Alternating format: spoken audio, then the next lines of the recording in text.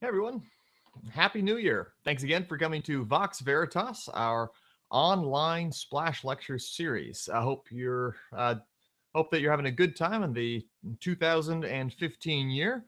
Once again, my name is David Carreon. I'm a psychiatrist and neuroscience researcher at Stanford. Um, tonight is going to be lecture four on the neuroscience of happiness. Um, next week I will be away, so there won't be a lecture. Uh, we'll email you out about when the uh, when we'll get started again. Um, in the meantime, I'm also going to send out a questionnaire to get feedback on the first two months of this program. So I would appreciate feedback. Please do fill it out. And a couple of info before we get started. Um, first of all, apologies for the technical difficulties. Uh, it will be a little bit, a uh, little bit uh, clunky today um, because of uh, one of the computers going down, but we will uh, we'll try to make it work. Uh, for the live audience, please ask questions via YouTube chat, Twitter, or email. I'll try to answer as many as I can before the end of the lecture. If you're not watching live, questions, comments, constructive criticisms are all welcome. Um, in the chat, rules are simple: watch your language and no spam. If you break the rules, you get one warning before you're banned. To get unbanned, please send me an email. All right. Um, so without further ado, I am going to uh, show you. Uh, we're going to be talking about. Uh, so here's our uh, here's our splash screen. Like I said, a little bit clunky today, but um, neuroscience of happiness and neuroscience part four. Um, so we're going to be talking about prudence or wisdom today. Um, so if you remember in our uh, metaphor, uh, we talked about uh, the various the various different stages. We have the uh, the ship of our individual self. Um, we need to be able to to be uh, to to do well. We need to be able to uh, keep ship shape. We need to be able to uh, control our own passions, uh, whether it comes to negative things or positive things. We also need to be uh, have a good group ethic, get along with other people on the team. Um, and finally, today I'm going to be talking about the destination. I'm going to be talking about where we're actually headed and why it makes a difference that we have a place to head. Um, so, uh, also to review, um, here are the uh, the the uh, four cardinal virtues again. Remember courage, dealing with uh, negative uh, negative stimuli, negative things like uh, like fear and pain, and, and what to do in response to those. Um, and here's temperance. Temperance having to do with positive stimuli. Um, how do we how do we respond to uh, temptation? Um, and finally, over here is justice. That is the the the virtue related to dealing well with other people. And today we're going to be talking about prudence, making good decisions. Um, so just to uh, just to dwell on uh, prudence a little bit, um, being able to there's a, lot of different things that could be said about prudence, and it could be said about um, about wisdom in general. I think I'm going to uh, to focus on on two aspects. I mean, this is this is a, a very very deep subject, and uh, a lot has been um, said and thought about it. But I think that uh, I, I think the uh, the the the focus is is kind of on the is on the uh, the practical wisdom, but I'm gonna uh, uh, also talk a little bit about the uh, about wisdom on a, a different level. Um, so we'll uh, we'll we'll I'll say more as we as we go ahead. So um, I'm gonna. This is a uh, a picture of the train tracks going into Auschwitz. Um, and why am I showing you this at the beginning of a uh, lecture on purpose. Well, the uh, this is a uh, th- this is this is a, a, picture from that was important in the life of a guy named um, Viktor Frankl. He was a, a, uh, Jewish psychiatrist who was taken to the camps um, during World War II, um, where all of his family was killed, and he was very close to dying um, many many times. And uh, the a lot of uh, questions were asked about about um, what it was that got people through this experience. And uh, you know, a lot of people expressed opinions about um, you know about uh, uh, strength or toughness or some of these other virtues, but but Frankl had a, a, different opinion. He thought that the reason, the thing that made people get through, the people that gave, the thing that gave people strength to endure the worst of these circumstances was purpose, was being able to cast their suffering in some sort of a larger story. Um, so Frankl says uh, Frankl says this. He says, striving to find in one's uh, striving to find meaning in one's life is the primary motivational force in man. and this is this is a uh, this is a really um, a really kind of uh, shocking statement. I mean, there, there's a lot of motivations we have. We've we've got motivations for uh, for pleasure. We've got motivations to avoid pain. We've got we've got motivations to be uh, to have uh, freedom and, and power over over uh, our our circumstances. Um, but what he's saying is that meaning and this the the the will to meaning, the striving to find meaning, is actually what is what life is all about. And um, so from one perspective, uh, we want to talk about uh, what happens when you don't have meaning. Um, and so they did a study, and this study was was in uh, older adults, and they looked at uh, they looked at um, purpose in life, purposefulness, and they asked various questions and had a a um, survey that they gave these older adults, and then they looked at um, at how many of them survived in the follow up survey. Um, so here is the uh, here is the 90th. Here's the 10th percentile. This top black line, and uh, as as time goes by from year one to year two to up to five. And at year five the older adults because they they were pretty aged to begin with about 20% of them had passed away. Now if you look at the people who had the 90th percentile much more meaning in their lives much more purposefulness. Look at this. They're at about 10% chance of dying. So you you, you have just about in this particular situation you have just about uh, twice you're twice as likely to die if you have low purpose than if you have high purpose. That's a huge difference. And you think well like it's not it doesn't have anything to do with your health. I mean it's not a it's not a physical need. It's not like food or drink or something like that. But it turns out that it seems like this is something that we need to uh, to even have our our uh, physical body continue on in a, in a in an important way. Um okay so here is uh, I'm going to show you um, another question about um, purpose and meaning. Um, is what sorts of we've been talking about the neuroscience of happiness, but I want to I want to sort of broaden the question just a little bit. So the, the question is, um, do people just want this the the happiness in the sense of a positive state, um, being able to uh, to smile all the time or to be in a good mood? There's a lot of things we do that don't make us do that, but but are really important to us. Um, so they did a survey asking people um, what extent to uh, what extent does each of the following activities reflect you, um, and then they um, they they looked at them and then they they correlated how happy the people reported being in various uh, in various ways and how meaningful they felt their lives were. Um, and so uh, if you look at this uh, if you look at this chart over here, people whose whose lives are characterized by eating or partying with alcohol, they don't have um, they're not particularly they, they don't have particularly any increase or decrease in happiness or meaningfulness. Whereas partying without alcohol has an increase. These people are much more happy than otherwise. Um, here's socializing. People whose lives are characterized by socializing, um, their lives they tend to have more meaning and happiness people whose lives are characterized by having sex, uh, maybe surprisingly, have more meaningfulness, but not more happiness. Worrying, people who worry a lot tend to have much less happiness, but do find their lives to be more meaningful. And then look at these meditation and prayer, huge correlations with states of meaningfulness. Um, but not of uh, not of happiness. And over here, buying gifts for others or taking ca- uh, taking care of kids huge, huge, more than anything else in the survey, um, uh, correlations with meaningfulness, um, and you know slightly less happiness than uh, than the rest of the survey.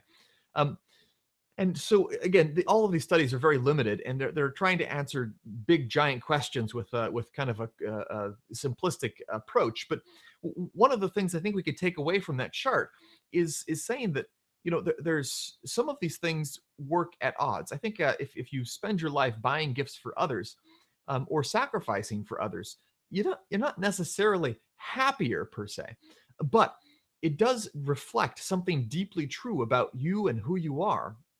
And that's um and that's really um and that's really important that people um, people will pursue these things for example um, having children people will have children um, and that this this really increases the degree of meaning in the in people's lives by a huge degree um, and so I guess the, the the deeper sense of happiness, the the the the happiness that is more than just the mood state, um, has to include some of these some of these other deeper pursuits um, that are that are not just uh, not just simplistic and fun. Another paradigm um, that I want to talk about in terms of uh, in terms of happiness and purpose and goal is uh, is a paradigm um, that was developed around uh, by by positive psychologists, psychologists who wanted to stop looking at just the sad things that were happening and look at the people who were mentally ill, but to look at people who were flourishing. And, and one of the paradigms that came out with this was um, a concept called flow. And the idea with flow is that um, you have various things that you do, um, and you have various things that you do that have various levels of challenge, from low challenge to high challenge, and then in those activities, you either have low, you, you have a range from low skill to high skill.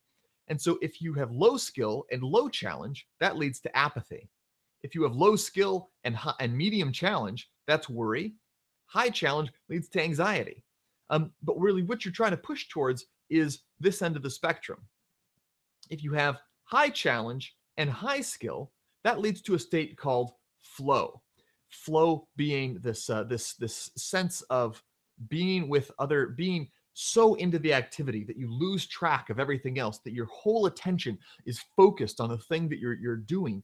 And so um, the researcher who developed this, Mihai Csikszentmihalyi, um, did this uh, study with uh, studying people who were, for example, um, expert uh, expert musicians who when playing difficult pieces had to get to this extreme level of, of difficulty with the piece and extremely high skill, and they were able to enter this state.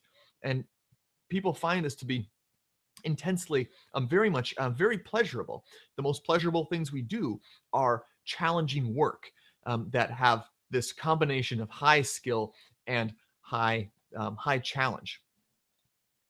Um, and so uh, another uh, another study that was um, was done, um, they, they, look at uh, they look at um, life satisfaction and uh, how um, how happy you are with your life. And it turns out that a lot of these studies are showing that doing things like volunteering or donating to charity actually increase your own happiness. Now, this might not be surprising to those of you who do these things, um, but they, they increase your your um, happiness by a an astonishing degree. Um, and you remember the uh, the the comparison I gave uh, uh, last week about the uh, social connection. Um, I talked about uh, the uh, hundred thousand dollars, the the roughly the huge amounts of money that you need to increase your happiness um, by by money, and it's much better to do it through social means. Another one of the ways to increase your happiness um, by about hundred thousand dollars worth of income a year is volunteering on a weekly basis. So this is a, another another thing that leads to huge increases in our life satisfaction and happiness that we don't tend to do um, as much as as much as we could and as much as we uh, is because we don't really think of it as as leading to happiness. It's something that we ought to do something that we kind of have an obligation to do. And so i, I think what i want to do is is encourage you um, encourage you to think of your life as a book. Um, and your you're writing, you're responsible for writing this book. You're responsible for um, for filling out the pages, and and you fill out the pages second by second, minute by minute, day by day, and however eh, however many years you've lived, you have that many years of of life that you've written out, and you however many years you have left, you're continuing to write this book day by day. And so, I, I guess the uh, what this um, what this this part of the the lecture series um, in this part of the lecture series, I want to encourage you to to think about what is the book about? What do you want the book? To, what do you want this book to to be in the end? When you're done and finished, and you look back on it and you say that was a that was a good book. How do you? How is it? What do you need to have in that story? Um, and what sort of a story do you want to tell? And uh, I think uh, to to give uh, one example, there's a there's a a classic split. This is a a famous painting by uh, Raphael, not the Ninja Turtle, um, the uh, the painter, who uh, talked to who described um, the school at Athens, and you see sort of this this paradigm um, between the two major thinkers in the, in the Western philosophy. Um, this guy over here on the left, um, this is Plato, and Plato is pointing up in the into the heavens, into the sky. Um, Plato's philosophy is very much an idealistic philosophy, a philosophy focused on um, the the spiritual things, on transcendent things, on things that are are non tangible, non material. And this here represents Aristotle. Um, Aristotle, on the other hand, was uh, much more down to earth. And so you could see his hand motioning down to earth.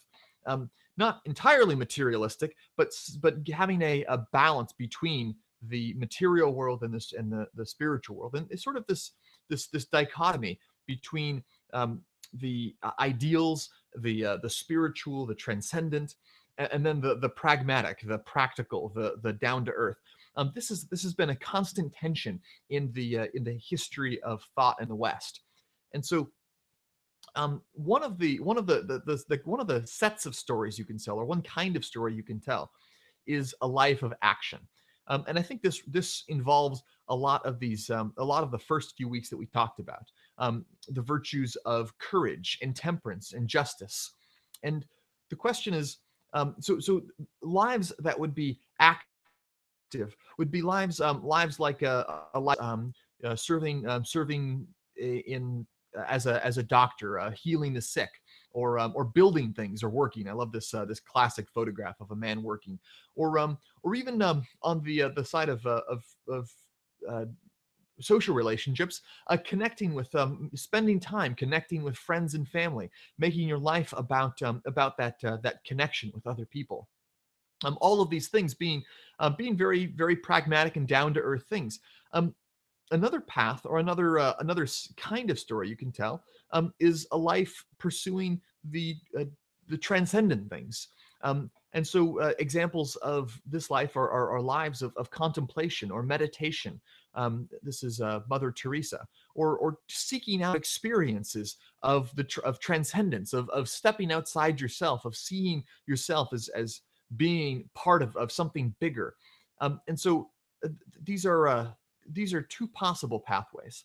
Um, and I, I, think that um, one of the this is a, another another image. This is uh, by Rodin, um, a sculpture. You've probably seen it before. It's called The Thinker, and uh, I think that uh, you've probably seen it way more times. And it's been uh, it's it's so classic a sculpture. You've seen it too many times, and it's kind of boring.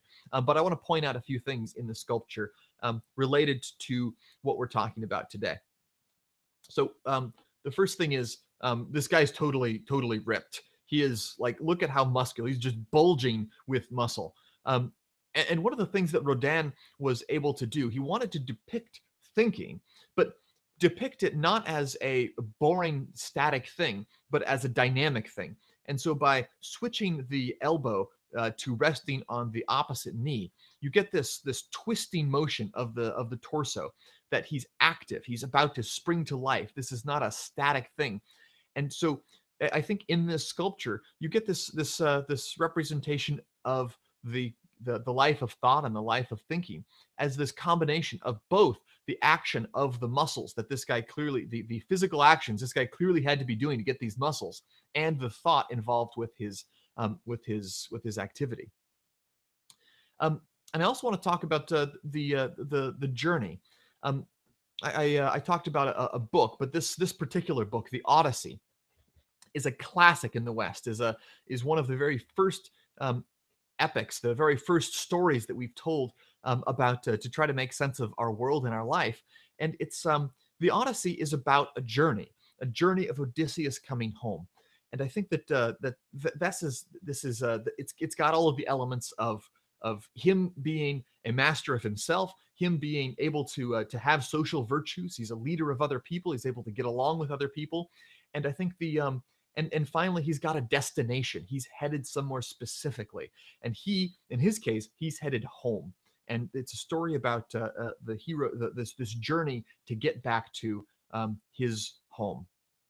Um, and so I'm going to uh, to review and, say that uh, we're starting again with this idea of the individual self, the individual, um, the individual part of the journey, seeking after being able to have this ship float and have this ship navigate by itself, have all of the, the sails in place and the, the, the rudder set and having it not be full of holes. This is a, a, a critical first step of the happy life is being in control of yourself. And second, the second step is being able to get along with other people and and being able to um, to to not uh, not get into fights and be able to resolve conflict and be able to um, to to have a um, to have things in common and communicate where you'd like to go with other people. And then finally, um, having a destination, having a place to go, having some purpose, some direction, some mission in life, something that you can do that no one else can do. So having some some task that is special to yourself. And so I think um, in terms of destinations, I want to describe um, describe a few um, a few possible um, destinations um, that have been popular throughout the throughout the ages. Um, I think one of them is uh, this is the uh, the birth of, of Venus. Um, it's a, a, famous painting, but I'm, I'm going to use it to represent hedonism. And hedonism being the the idea that that pleasure, that your own that, that one's own pleasure is the meaning and purpose of life that i'm going to i'm going to uh, be temperate i'm going to uh, i'm going to be courageous i'm going to be uh, just i'm going to be prudent and i'm going to direct all of this toward the end of trying to maximize my own pleasure my own physical pleasure. Um that's um, that is that's one path and even we and we can even um, there's even sophisticated ways of doing this. We can even build a society around this idea and say we want to achieve the most pleasure for the most number of people.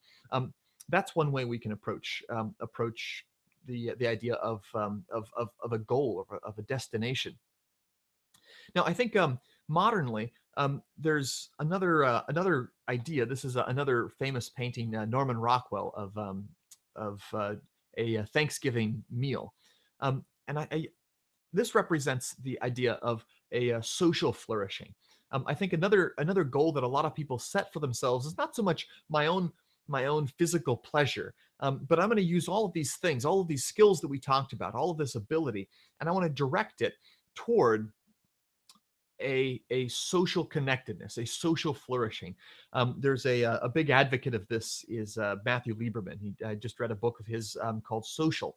And uh, the, the, the argument is that this is that, that humans can get along best if we work together and, and, and create these societies of social cohesion, that the end in itself is this is this interconnectedness, is this sociality, is this community. Um, that is that's another direction that we can point to um, for all these things. Um, and yet a, uh, a third one is pointing to the uh, pointing to something ultimate, pointing to uh, sort of a, the, the the final end of all of these things. That um, that yes, pleasure is physical pleasure is good, but social pleasure is better. And yes, social pleasure with other human beings is good. Um, but this is just a foreshadowing of some ultimate reality, ultimate good, an ultimate love. So, for example, in the case of a uh, of a Christian worldview, um, the idea is we're all pointing towards this ultimate goodness of of love um, that that uh, the love that we have for each other in community is just is is a reflection is a outflowing of the love that we had that we could have for God. Um, other conceptions of this this ultimate divine um, involve merging together. The uh, um, Eastern conceptions have the idea of uh, the, the loss of the individuality, um, uh, a drop dissolving in the ocean. Um, and, and this being a, a motivating um, vision, and an idea, an ideal or, or end or purpose or direction that we're all um, headed towards. Um, so I think the uh, this uh, this is this is bringing us towards the end of our uh, of our lecture series on this. Um, but again, to remind you, we have courage. We have to, to uh, deal with painful things and anxious and things that are anxiety provoking, and to be a, a fully functional uh, human being, being able to deal with that is really important. And even more so today, with um, all of the uh, pleasures and, and uh, things that we have, being able to be uh, temperate and manage that um, is another important thing. And then uh, being able to be just with our neighbors and friends and, and coworkers. Um, this is an, another essential thing for being able to thrive as a person. But it, it all doesn't really matter if we can't if we don't have a direction to go if we don't have a, a place that we're headed if we don't have a story to tell um, we could be uh, incredibly capable an incredibly capable fleet of ships that has no destination that's uh, sailing about lost in the ocean. Um, and so i think uh, i want to encourage you to uh, to, to make that journey um, to to uh, first of all make your um, to, to find out the ways that we can improve and and uh, and better your your own ship. Um, how can you uh, how can you make improvements in your own self? How can you make improvements in your community? And finally how can you find a destination? Where can you look? How can you um, what story do you want to tell? Uh, where would you like to end up um, at the end of your life? Um, so i think that uh, th- these are these are the questions that um, that i want to leave you with. And um, moving forward. So i think the um, the uh, first question is uh, Can you talk more about the study with uh, meaning in an older person's life, making them less likely to die? What did older people in the 90th percentile say was their purpose or meaning in life? Um, it's an excellent question about um, how, uh, what is the, uh, what are the implications and the significance of this study? So, again, um, we have people with a, a low degree of, of meaning and a high degree of meaning. Um, and in the study, they didn't actually ask them specifically what their meaning was.